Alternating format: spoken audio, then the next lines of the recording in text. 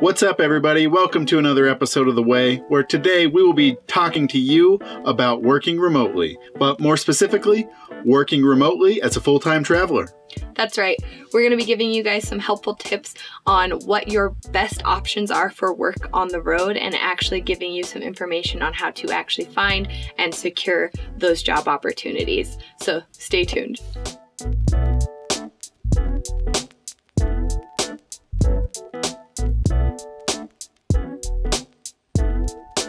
When working from the road, you can pretty much break down jobs into three main categories. The first one we're going to be discussing is work camping. The second one being online or computer based jobs. And the third option is going to be location specific temporary jobs or contract work.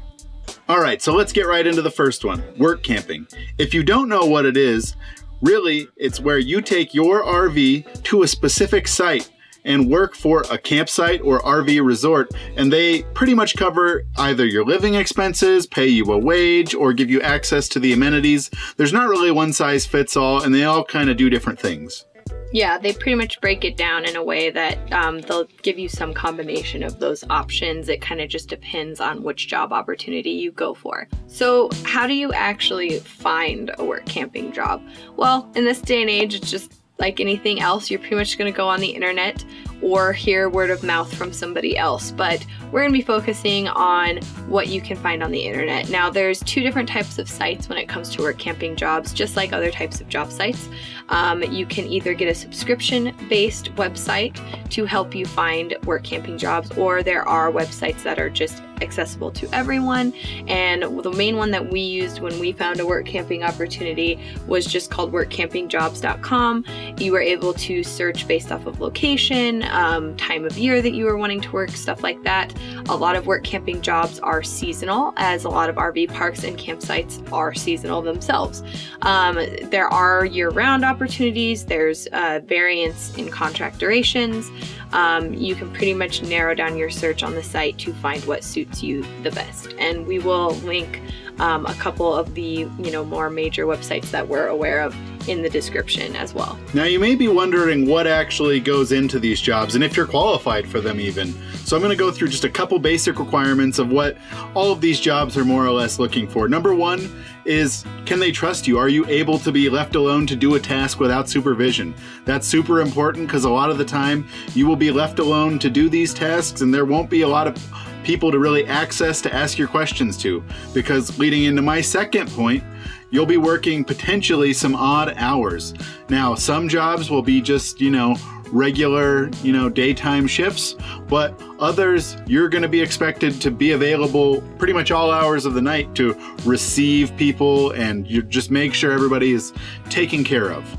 Um, the third and I think most important aspect to any requirement for a work camping job is are you willing to get your hands dirty? Are you able bodied to actually do the tasks that they're requiring you to do. A lot of them is, you know, cleaning the bathrooms, doing the laundry, just any odds and ends that require that make a facility up and running. And you know, a little bonus one of that I'll add on to being able-bodied is are you handy and have tools because a lot there's always something that goes wrong at the rv resorts that we always have something going wrong somewhere and somebody comes along to fix it for us so it's a, it's a big plus if you're looking for a work camping job. Okay, so what are some of the benefits of work camping? So first off, you know, it's a great way to meet people that do what you do. Um, I you know, we've been traveling full time for a while now, and sometimes being on the road can be a little bit isolating. Um, you're not around your friends and family and stuff like that.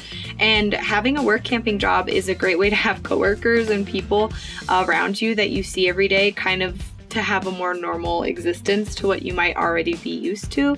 And secondly, also people that are pretty like minded to you because they're doing what you're doing, people that really understand what it's like to be a full time traveler. Um, that's a huge benefit, and I don't want that to be something that's passed over because, as I said, after being isolated on the road, like you will come to value that more than you likely maybe think at this point if you are not already traveling full time. It's a, a very invaluable thing. Uh, when you're on the road to be able to make friends and hang out with people. Um, another thing is that a lot of times you're going to get amenity perks from wherever you're staying. If you're staying at a nice RV resort or a cool campground, you're going to probably have some cool things available to you, possibly for free at, or at a big discount. Um, we work camped at a hot springs resort and it was like having a, uh, our own private hot springs pool in our backyard. Like I said, I worked off hours, so when it was my day off, we pretty much had the park to ourselves and it was, I mean, stuff like that you can't really put a price tag on. It's a, uh, it's a big perk and it can uh, make for an enjoyable stay at a place. Um, another aspect of work camping that's pretty positive is you're likely going to be going to locations that are optimal for their time of year. So, you know, a lot of RV parks and campgrounds are obviously going to hire on more staff when it's a busier time of year, and a busier time of year is going to be when people want to go on vacation there. So, whether or not the place is known for, you know, a nice winter getaway to avoid the harsh winters or a beautiful fall location, those uh, job opportunities are typically going to follow the optimal time of year to be in a certain location. And that's a big plus, A, for just you know, being in your RV for practical reasons, but also for enjoyment's sake. And, you know, another side note to that is a lot of times you might not be able to get into these types of RV parks if you weren't work camping in the sense that, you know, sometimes you might work camp at a place that's been booked out for years that, you know, maybe had you not come on as a work camper, you probably would have never gotten to go to that location. So, something to keep in mind as another plus with work camping.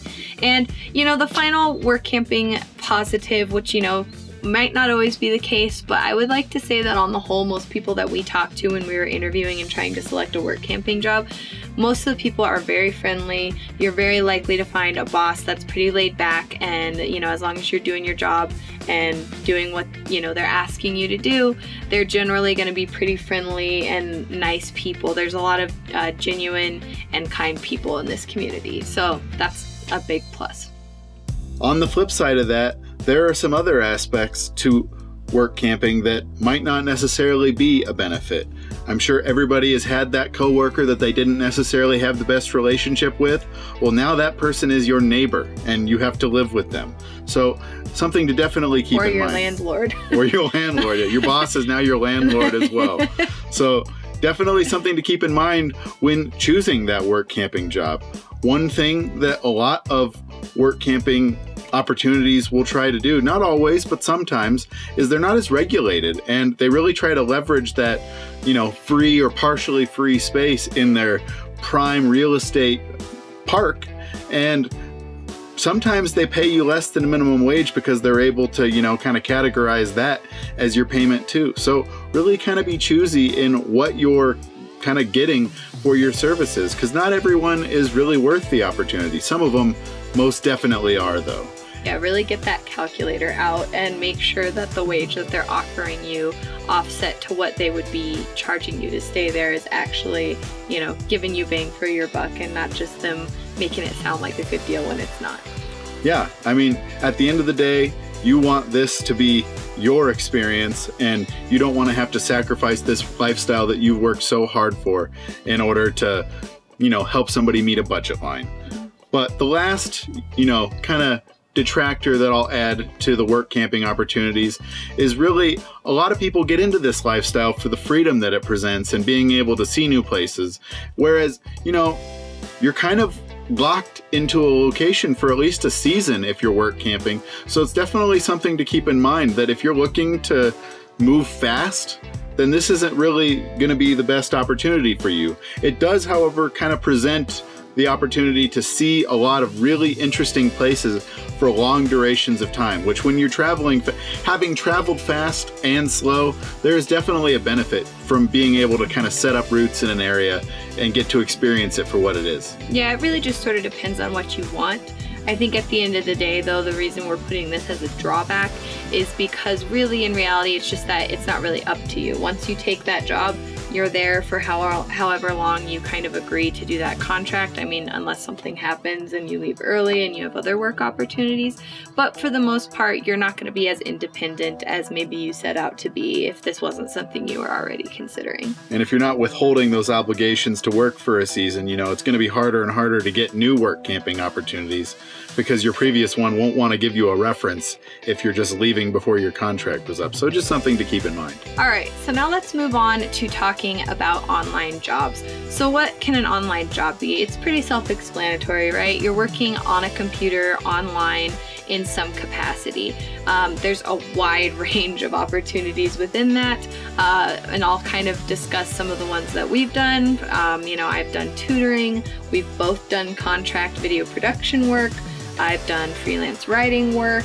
Um, there is so many options outside of that even. There's a lot of assistant roles, accounting roles, uh, sales positions, you name it. And especially right now uh, with COVID and everything, there are more remote job opportunities than ever. So you may be asking yourself, how do I actually get one of these online jobs? Maybe you have a field that transfers nicely into the online marketplace, or maybe this would represent a career shift for you where you're having to maybe take a pay cut in order to get a job. But there are plenty of options out there, thankfully, since, you know, if COVID is good for one thing, it's the implementation of online and remote work. So, job sites like Indeed, LinkedIn.com, you know, social networking and, you know, ch- checking that filter box for remote or work from anywhere is really powerful and there's actually a lot of opportunity to do that that sort of thing and you know maybe the full-time staff with benefits option isn't necessarily an option with your amount of experience in a said field.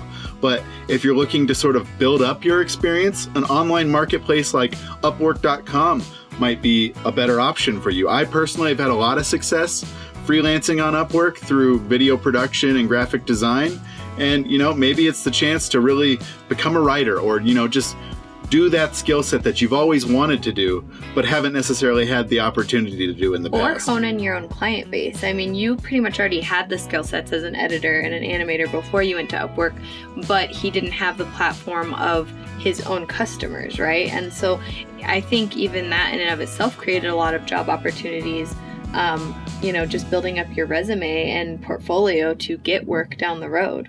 Mm-hmm. All right, so what are some of the actual requirements for working remotely from the road? Just because you are a remote worker doesn't necessarily mean that it's never going to come up that you need to be in a specific location at a certain time.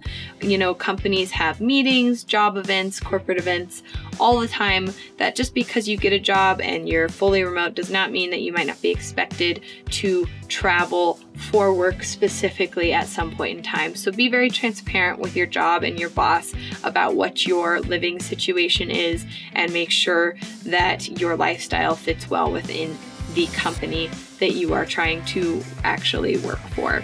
No matter where you are, you will be expected to have a reliable internet speed. With remote work being what it is nowadays, you know, platforms like Zoom and all of these things are very common. You're going to be expected to be on phone calls most likely or video chats at times. When I'm tutoring, I'm doing that over video chat platforms most of the time.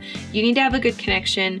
People don't want you cutting in and out. They don't want to be, not be able to hear you or see you or having, you know, unreliable issues all the time.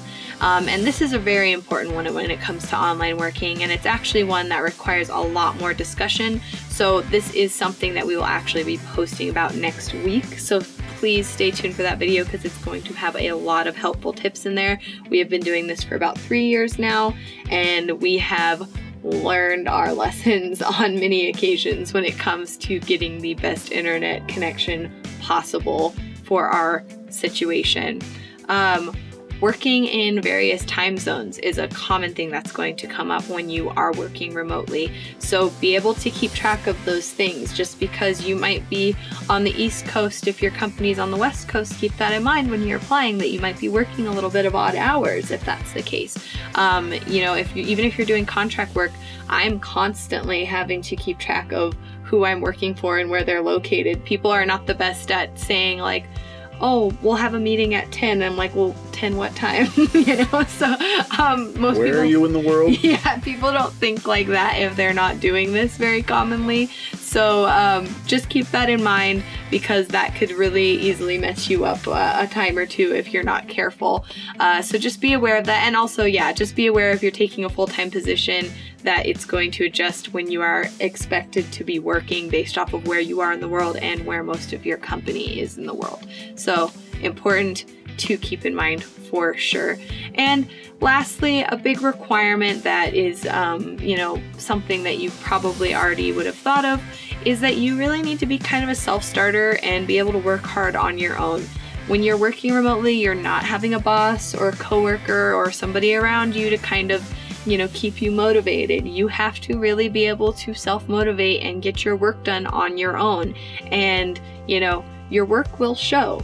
So if you're slacking off, it's not going to be a secret. It will come uh, become apparent, and um, you know companies are still going to have these same expectations of you, whether or not you are in the office or working from home. So just keep that in mind. That if that's something that you struggle with, it might be uh, you know an added challenge, something that you have to figure out in order to be successful at a remote online job. Now, what are some of the benefits to working an online job from the road? Well, I'll tell you for one thing, if you get a job that you can work from anywhere, it really offers you that flexibility to work from anywhere. And it is great when it is gelling and everything's going well. And I would highly recommend it because it has allowed us the opportunity to see some really cool places at a really breakneck breakneck pace. Or at our own pace, whatever that may be. and you know, another thing is that if your job allows for it, your schedule can be flexible. Maybe you work 2 p.m. to 10 p.m., you know? Maybe you guys are really good morning people. You're not going into an office place to actually like meet people from 9 a.m. to 5 p.m. So why not take advantage of it if your workplace allows for it? The biggest benefit that we've experienced is really if you get an online job, it's most likely to offer benefits. It's not always the case, but you're more likely to probably find it in this situation than in other situations. And dealing with insurance and, you know, medical care from all 48 states is sometimes a major, major challenge. So getting the good benefits to go along with that job package is a huge plus. But let's go and transition into what actually some of the drawbacks are for working online remote. Well, the first one is kind of based around the internet thing that we mentioned earlier. When you are relying off of your computer and your internet for work, it is just that. You have to be able to rely off of it and you need a good internet connection. You need a good computer setup. And sometimes that takes a little more legwork and effort on your part and diligence. And you might still run into issues from time to time. And no matter what your job is, that's going to be on you, regardless of if it was an unpredictable, unforeseen situation. You know, it's not the same as being in an office where, you know, maybe their hard drives or their internet goes out and they kind of are like, oh, whoops, our bad. Um, it's really on you at that point to have your technology and your internet up and running and doing what it needs to do. So sometimes that can be a drawback or just an added kind of stressor aspect to working full-time remote online. Um, online full-time remote jobs can be harder to come by. So keep that in mind, you know, as we mentioned, you know, you might have to have skill sets in various areas if you're really trying to land that full-time job role uh, that really has benefits and good opportunities for you and your family. Um, so just keep that in mind that it might be a little bit harder to actually secure one of those positions first off and second off while there are more opportunities available because of COVID, it is also very in demand right now. So the competition is high and it can be a little bit more of a challenge in that regard as well to actually secure and find a job because you are going up against a lot more people. Remote work has never been as desirable as it is right now. The third and final category that we'll be covering in this video are those location-based contract jobs. The duration can really vary from three to six months to one to two years, or even more open termed if that's what you're into. In addition, the skill sets that they're looking for can really vary widely, whether it be, you know, seasonal harvest, like in the farming industry, or more of a technical skill set in the nursing or construction industries. And there's actually a high volume if you get on those Indeed and LinkedIn websites. There's a lot of temporary jobs. Amazon is a huge proprietor for temporary jobs when their season picks up high volume or, you know, really year round as well. So if you go online, you can filter your search for temporary jobs, even on sites like Indeed, and you're likely to find something in a category that you either have experience in or would be interested in working in. So keep that in mind even on basic websites. But there's also websites that are specific for temporary work. Um, Flex Jobs or um, ZipRecruiter are really big for you know focusing and honing in on temporary work. And if you have a field like nursing and you want to be a travel nurse or something like that you can focus on job sites that are specific to what your skill set is. And as with any job word of mouth is a big thing. Once you get into working temporary jobs and contracts it can you know kind of add on um, through knowing people in your industry. Some of the requirements for these location based contract jobs are a little more straightforward. If you're qualified for nursing work, then you'll be qualified for nursing work. Or if you have construction experience, you're probably more likely to get more construction work. So, really, pretty straightforward there. But the main point about these jobs is you'll be expected to be in a location for a specific amount of time and live and work in that area. So, what are some of the benefits of doing a location based contract temporary job? Well, to start, you probably stand to make a little bit more money than a work camping opportunity. So these two categories I'm comparing more specifically because they're a little less location independent than the online working category. So when you compare it to work camping, location-based contracts, you're way more likely to meet a higher wage and possibly even find a job with benefits. So that's a huge plus in this category right out the gate. Secondly, you're more likely, just like with work camping, to make friends and work with people that you either relate to because they travel full time like you or they're in an industry that you work in as well. And that is an invaluable thing when you are on the road to build a community of people that you can relate to and that you can talk to when you're away from friends and family, especially on holidays and weekends and stuff like that. Having people that you can hang out with and chat with is a really rewarding thing to have when you are on the road. And lastly, the added benefit of, you know, there's not as much commitment with these jobs. They are temporary jobs. It's not like having a full time job that goes on forever. So, you know, if you have a three to six months contract and you don't like it, well, it'll be over in three to six months or whatever the contract is. Or if it's open ended, uh, you might be able to just give notice and leave and find another contract job depending on your experience in that field. So there is a lot of flexibility in that regard in this category. So some of the drawbacks to these location based contracts are you know, unlike work camping where you're chasing the best times of the year, is the work is where it is. So you might be forced to work through some of the more challenging times of year, whether that be the extreme times of winter or the extreme times of summer. So just something to really keep in mind there. And then with that sort of, you know, open ended contract, you may not have as much notice when the work is going to run out, whether it be farming or oil or whatever. You need to kind of account for that in your plan and maybe save more money and be more flexible with your possible unexpected work ending without a whole yeah, lot if of you, notice. If you have an if you're working an oil field and that runs out, then you might be out of work earlier than you expected. So it's something to definitely take into account when accepting a contract like that. Well, in any company too. I mean, if they're running out of work, the temporary employees are the first to go, and they're not going to give you a whole lot of heads up if that's the case. So, yeah. Yeah, and with with location specific work, you know, it really limits your ability to be location independent. So where as online work allows you to be super location independent, this really kind of grounds you to a community. So if that's a negative for you, it's something to keep in mind. Uh, and then the final drawback is really you're going to be going to a specific location to do a job. So if you have pets or you know, whatever that you need to be checking up on regularly in your RV, it's not really going to allow you the flexibility to do that most likely. So just really be able to plan out your day and uh, you know, we have a camera system set up in our RV to be able to check on our dogs if we're gone for extended periods of time. So, a couple of different things kind of add up to some drawbacks, but not necessarily a game breaker if this is something that you're qualified for. No, it's just always something to take into account that it's much different to work in your RV than it is to work out of your RV. So you have to think about those various aspects of any type of job role that you accept. All right, so those are really the three main categories that, when it comes down to it, are most available and common for full time travel remote work. We've got work camping, we've got online remote work, and we have location dependent temporary contracts. If you have any other ideas that we didn't cover, feel free to leave them in the comments down below. Check out the description for helpful links to some of the things that we discussed, and as always, thanks for traveling with us, guys. Bye.